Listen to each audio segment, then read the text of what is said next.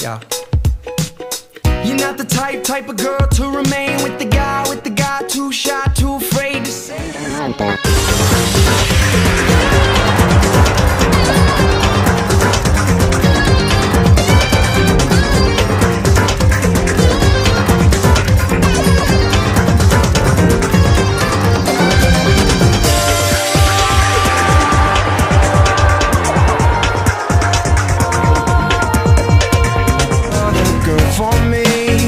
just saying it's fine.